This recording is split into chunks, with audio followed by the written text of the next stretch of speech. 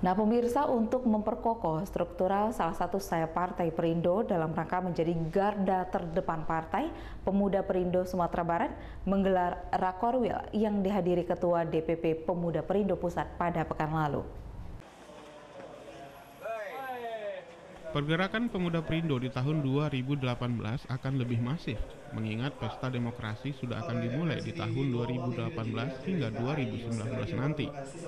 Rakorwil yang dihadiri Ketua Umum DPP Pemuda Perindo, Effendi Saputra, adalah untuk mempercepat pembentukan struktural kepengurusan di setiap daerah, termasuk Sumbar.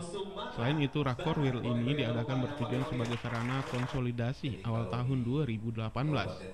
Pada dasarnya, Partai Perindo menginstruksikan kepada kader pemuda Perindo di Sumbar untuk ikut andil dalam pemilu daerah dan legislatif nanti, serta berkomunikasi lebih intensif dengan kepengurusan Partai Perindo di daerah-daerah.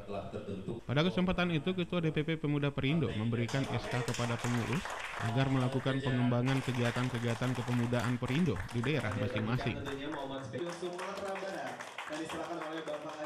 Kita harapkan dengan adanya konsolidasi-konsolidasi setelah ada rakorwil nanti mungkin ada rakorda-rakorda yang akan dilakukan oleh wilayah, pemuda akan mampu menyiapkan kader-kader potensialnya untuk maju dalam pencalekan 2019 sehingga tidak hanya dalam proses pencalekan namun pemuda kita harapkan mampu mendudukkan kadernya di dalam lembaga-lembaga legislatif baik di tingkat kabupaten kota maupun di tingkat Uh, hari ini kita acaranya Rakorwil. Sesuai dengan judul Rakorwil itu rapat koordinasi.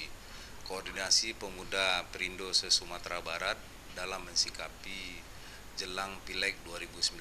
Jadi kita perlu soliditas, militansi, kompak semua.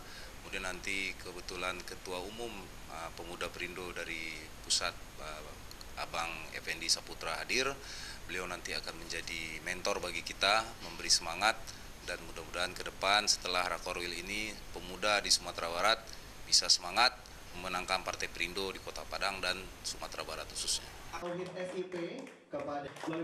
Dari Padang, Budi Chandra, Ainis melaporkan.